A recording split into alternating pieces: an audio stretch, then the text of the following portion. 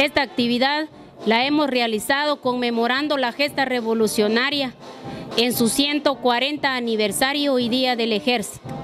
Organizamos a la compañía de reservistas, que es el paso más importante que tenemos aquí, el apoyo de las señoritas y jóvenes que prestan un servicio cívico-militar.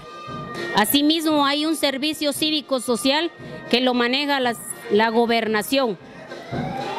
Para ello Hicimos varias coordinaciones, máxime con nuestras, nuestras autoridades y que muchísimas gracias al señor alcalde municipal, a la señora gobernadora y a las instituciones gubernamentales y no gubernamentales que nos prestaron de una u otra manera el gran apoyo que nosotros necesitamos.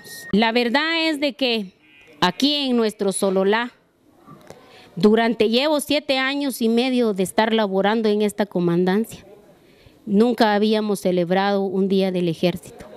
Nos sentimos tan felices y orgullosos de pertenecer a las filas del ejército.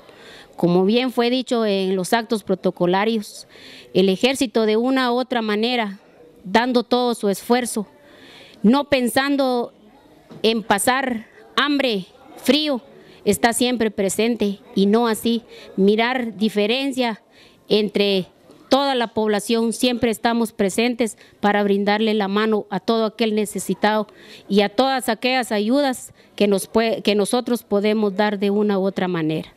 A principio de año, en el mes de enero, se hacen las publicidades, tanto radiales como algún otro medio que nos ha prestado su ayuda desde ese momento en que las señoritas y jóvenes han escuchado la participación y de prestar un servicio cívico, cívico-militar, se han venido a inscribir a esta comandancia para poder apoyar y tener un su entrenamiento militar y asimismo estamos preparados en un caso de desastre natural, que como estamos pasando estos tiempos de invierno, pues aquí estamos presentes para poderles ayudar.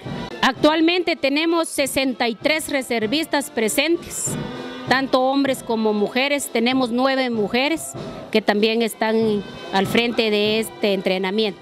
Nosotros recibimos un programa de entrenamiento de, las, de reservas militares de la República con sede en la ciudad capital.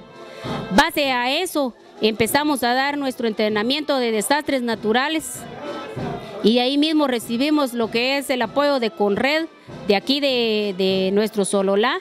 Tenemos una preparación de diferentes ejercicios, tanto de, de un polígono de tiro como descenso de riscos, paso de la pista de infantería y entrenamiento militar y de entrenamiento social, que es lo que le brindamos, y desastres naturales.